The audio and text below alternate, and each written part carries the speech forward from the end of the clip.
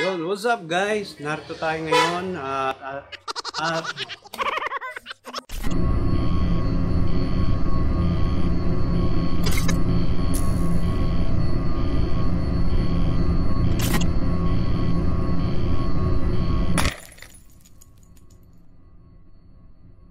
Yo, what's up guys? Narito tayo ngayon ulit para turo ko sa inyo paano magkaroon ng ah, YouTube channel.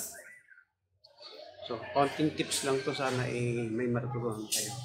So, kung bago ka lang sa channel ko, please don't forget to subscribe and hit the button para manotify kayo sa mga susunod nating mga i-upload the video.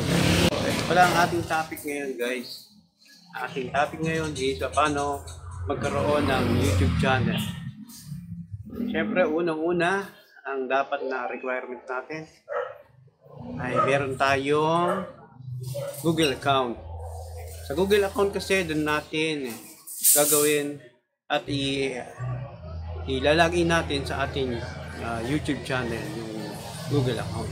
So dapat meron kang Google account. Madali lang gumawa yon. Meron naman tutorial dyan. Uh, parang Facebook lang yun. Yun ang gagawin natin. Yun ang i-apply nyo. Mag-fill up lang kayo ng form para magkaroon kayo ng Gmail. At pwede na kayong magkaroon ng YouTube channel. So, paano ba maging isang YouTuber? So, simple lang yung tanong na to pero ito yung pinakamagandang tanong ko. Ano yung requirements para maging isang YouTuber? So, para sa akin, mga friend, lalo na sa mga bago dyan at dati na, totoo lang, wala man talagang requirements para maging isang YouTuber. Maging pangit ka man, pogi ka man, o, di ba? O isang cute ka man. Ang mahalaga lang, meron kayong, uh, meron kayong content, may mga video kayo na i-upload. At wala sa, ano yan, uh, wala sa pakuwian, pagandahan. Pero minsan nagiging isang ano rin yun, isang factor na rin yun para mas pakilala ka pag medyo may itsura ka. Ang problema, wala tayong itsura, ang cute lang. Uh, so, ganito lang yan, no? Nasa tao na yan kung ikaw ay subscribe niya, nasa content mo yan, kung anong magiging content mo. Ang pinakamahalaga, nagawa niyo yung gusto ninyo, at ang content ninyo is consistent, huwag kayong magsasawang mag-upload, gawa kayo ng paraan kung ano pang inyong gagawin, ay, kung ano yung mga gusto niyo. Actually, ang aking channel na ito is sa totoo lang, dito ko na halos inilalagay lahat. Kulang pa nga sa totoo lang.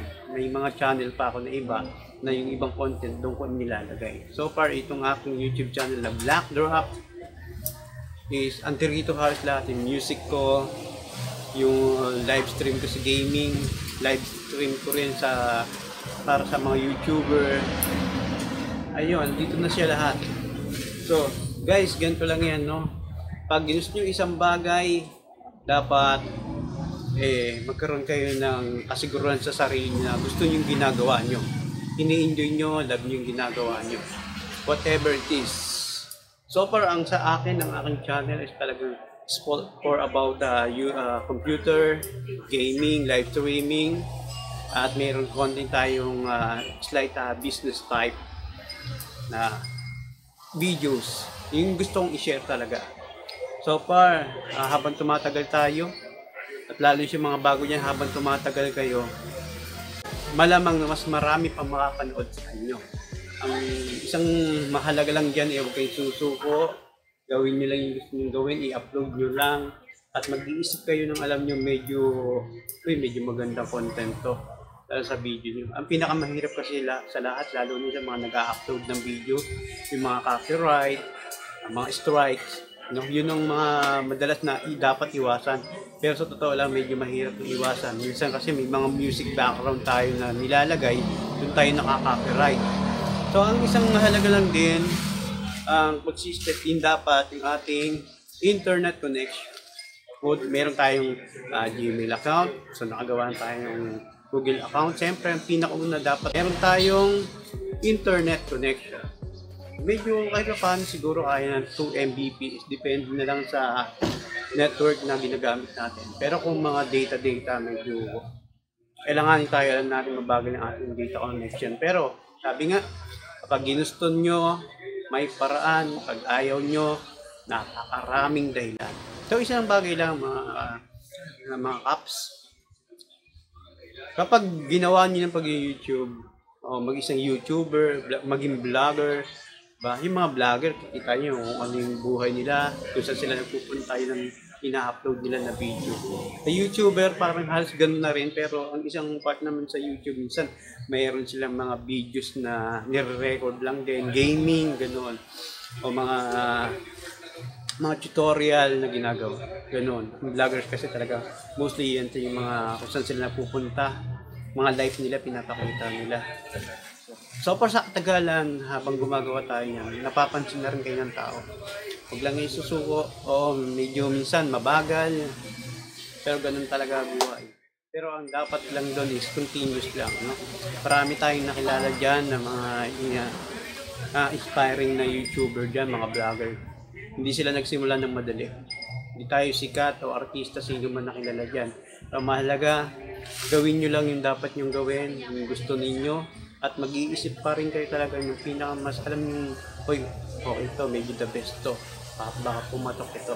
Pero andun pa rin yung pagbabaka sakali na, oy, baka pumatok to. Oy, baka okay to. Ganun pa rin talaga dapat. Oh, so, sabayan nyo lang ng prayers para hindi tayo magkamali. So, para kung sakali mang medyo mabagal, is pag-aralan nyo lang mabuti. Wala sa, ano yan ha, tandaan nyo, wala sa looks yan. Kasi maraming ah, YouTuber na wala nang hindi nang pinapakita yung mukha. Nag-upload lang ng video. Diba? Ay, pakita yung mukha ng kagaya ka. so, ito lang yan. ah. Kapag oras mo na, kapag ikaw eh, ika nga eh, pinalad ka na, time mo na para ikaw naman ay mabigyan ng pagkakataon. Kahit sa anong bagay, kahit sa business, ganun din yan. At aangat at aangat ka, iyabong at iyabong ka. Sabayan nyo lang ng prayers, kahit anong mangyari. Pagkatiwala nyo lang sa Kanya, matutupad yung pangarap niya. So guys, uh, huwag nyo kakalimutan na isa lang yung industry na pinapasokan natin. Napakaraming tao. Almost a billion people ang pwede manood sa atin. Kaya huwag kayong magsasawa.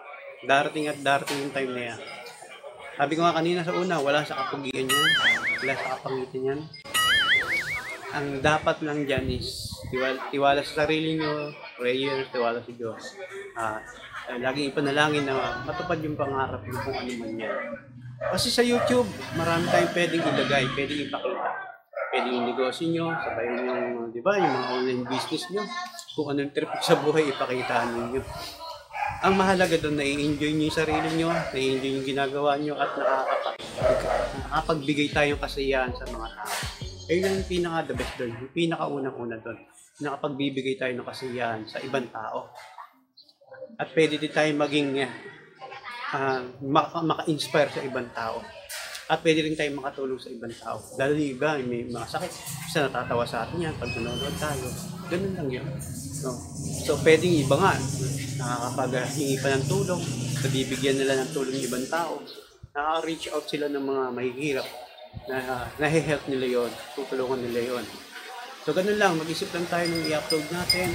At uh, ulit, again, isang bagay na tanong, uh, paano ba yung mga requirements kapag ikaw ay magiging isang uh, YouTuber o isang vlogger? At paano rin ba magkaroon ng YouTube channel? So guys, narito yung apat na requirements para maging isang YouTuber o isang maging vlogger. Sa una, meron tayong dapat at nakapag-sign up na tayo sa ating Google account or Gmail account. At isa pa, pangalawa, meron tayong YouTube channel o nakapag-sign up ka na rin sa YouTube para magkaroon ka ng uh, YouTube channel. So pangatlo, dapat meron tayong cellphone or desktop, computer or laptop na pwede natin gamitin sa pag-upload ng mga videos natin at pag-re-record ng ating mga videos. So pang uh, lima, pang-apat, ang pinaka-importante meron tayong dapat uh, internet connection or data connection. So, ganun lang yun kasimple. At may pinaka-basic pa pala, pahabol pa. Meron dapat tayong skills. So, darating na lang yun, makikita nyo. Siyempre, hindi, Hindi pa pwedeng mag-upload ka kung, ng, kung ano-ano, kung wala kang skill or uh, mag-YouTube ka, magsasalita ka sa tao. Pinaka-basic importante pala yung skill natin. So, parang bali pang lima pala yun, no? Pero basic lang yun. So, ayun lang guys.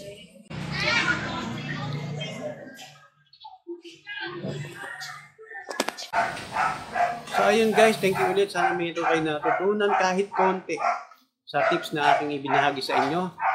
So, see you next time. Again, don't forget to subscribe my channel at hit mo lang yung button dyan. Huwag mo kakalimutan yan. And pwede nyo rin i-share kung sa mga friends nyo para mas marami pang ma-inspire na kagaya natin. Thank you very much. Bye-bye.